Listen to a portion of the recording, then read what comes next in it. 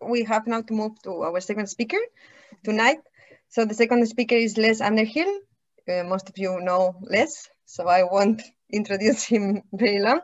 Uh, so today he will be talking about the ABC, which stands for the April Bulbul Challenge. And yeah, let's go for it. Right.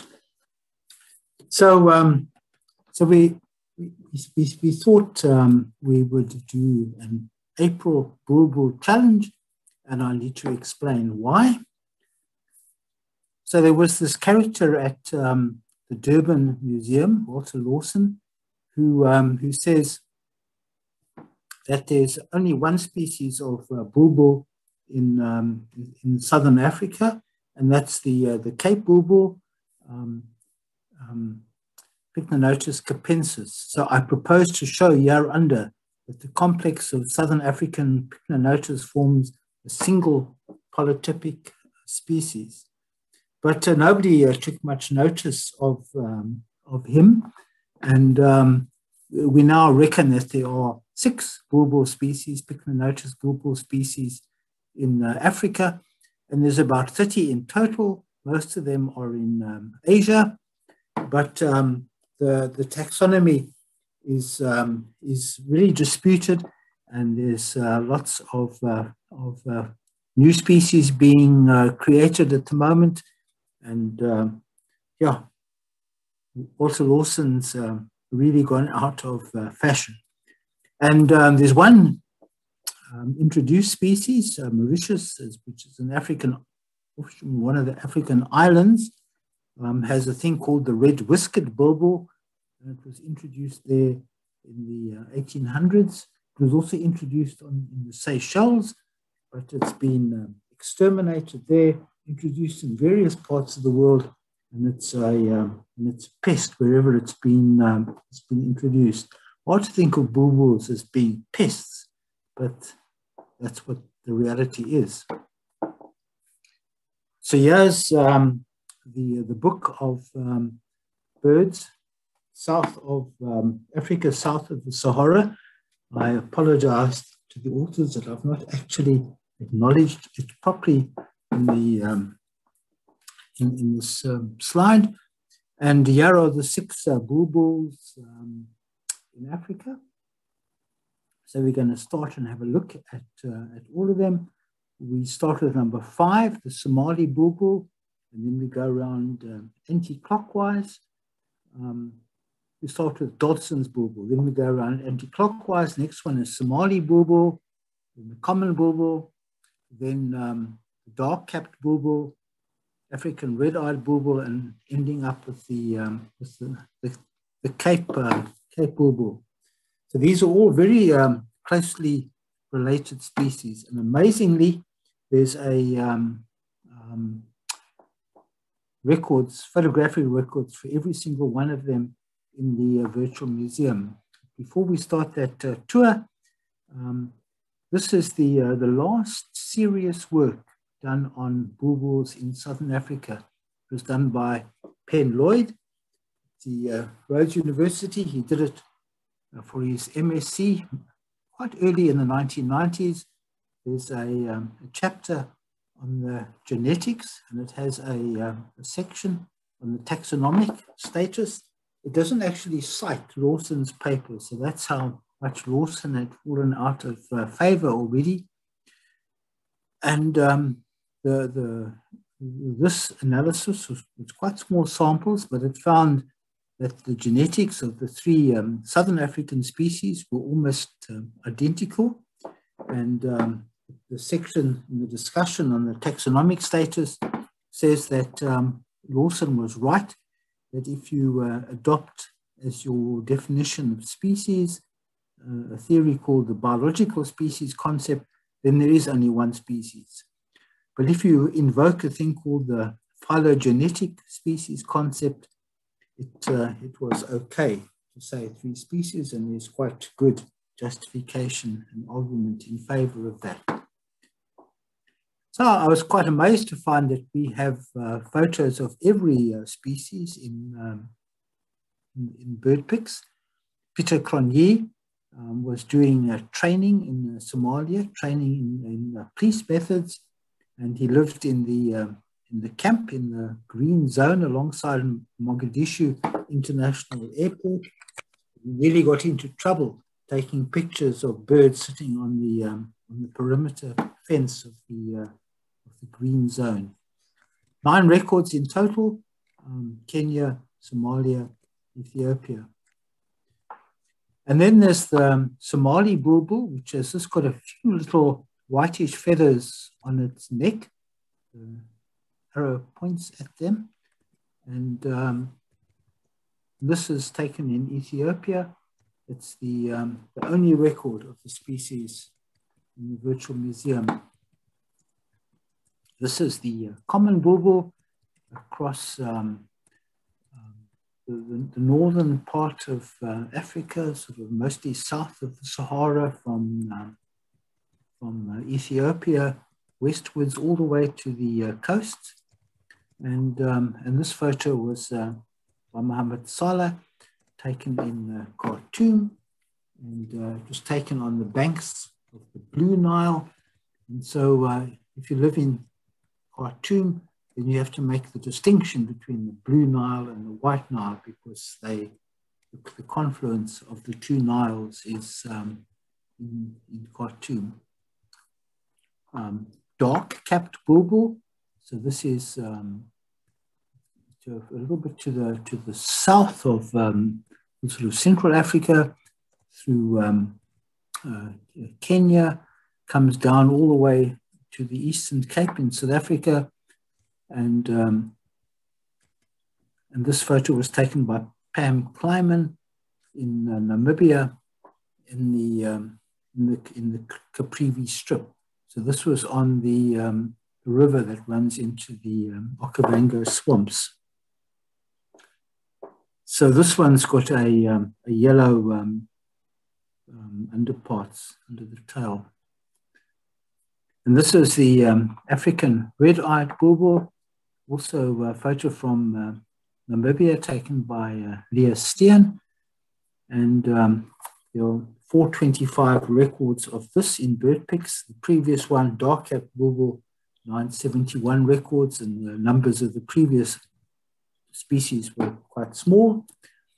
And finally, and, and this is the only picture in this series from, uh, from South Africa, and the photo has to be from South Africa because it's uh, endemic largely to the um, to the winter rainfall area, and this is the uh, Cape Bulbul 498 records with the um, with a very distinct shape to the um, to the white eye. So the the, the white um, thing around the eye is is longer on the side of the beak than it is on the side of the back of the head. And here's the red-whiskered bulbul, um, quite an attractive bird. I wouldn't mind having one of those in my garden. Um, and this is this invasive uh, alien species in uh, Mauritius, where it is a, um, a, real, um, a real pest. Nine records, all from Mauritius. And this is probably the picture that, um, that, that, triggered uh, my, my interest in, uh, in bulbul. I got home from a um, BirdPix trip, and um, and I had this uh, funny picture of a um, of a bulbul in an area where uh, where the where the anticipated bulbul was uh, was the Cape bulbul, and you can see that um, Liesel van Deventer has dealt with this bird with this record at uh, two minutes to six o'clock on the 29th of March. That was yesterday. So this uh, record is, uh, is hardly a day old. And she says, my take is a hybrid Cape Bulbul, pink eyes, shape of bare skin resembles Cape Bulbul with the larger end towards the bill. The black mask is more typical of Cape Bulbul. Red-eyed Bulbul has a, um, a dark head. So she reckons that this is a hybrid between the, um, the two species.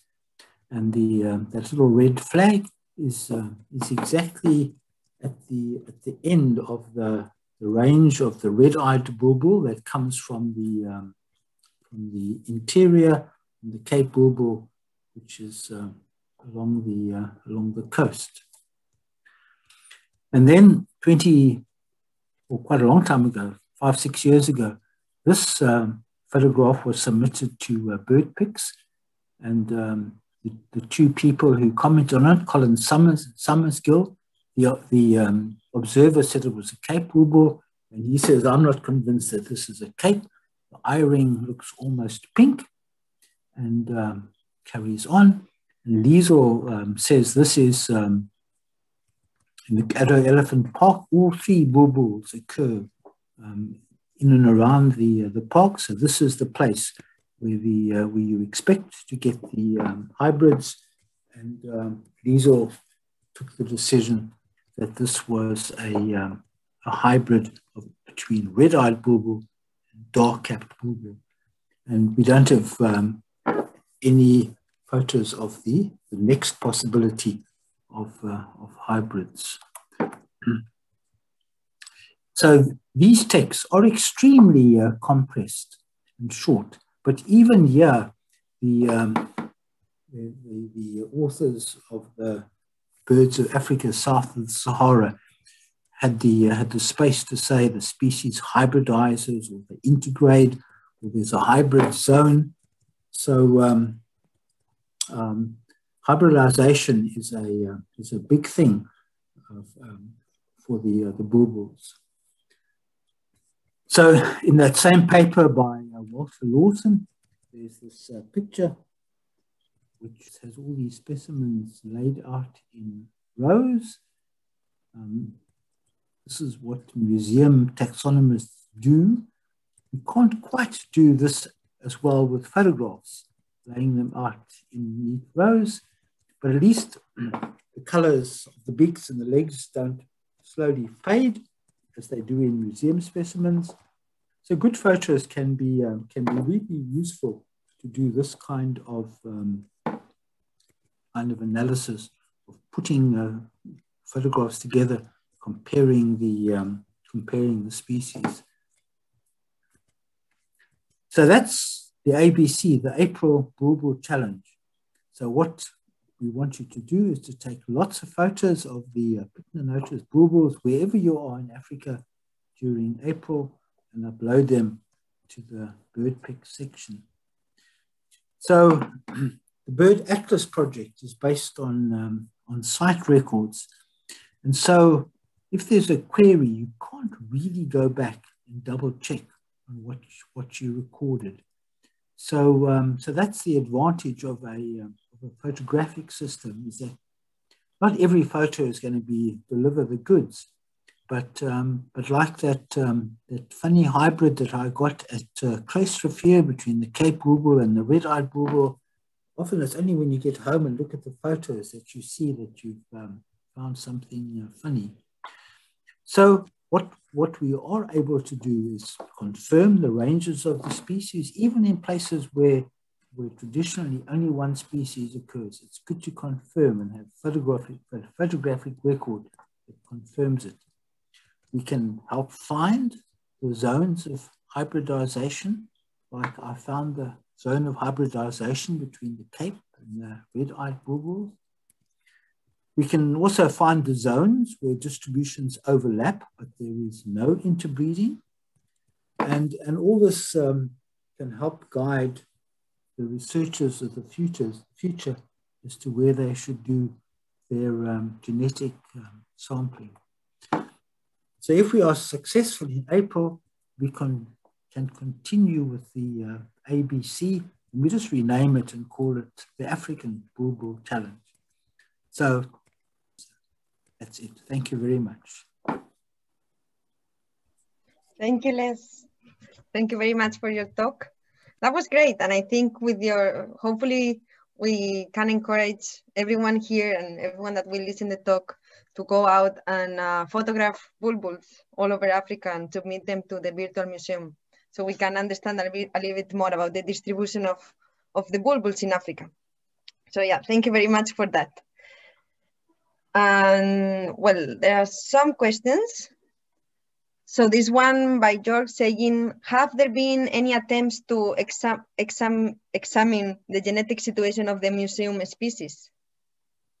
Yeah, so um, so I, I, chatted to Adrian Craig, who was uh, Penn Lloyd's supervisor, and um, and he says this is a uh, an, an, opportunity waiting to happen.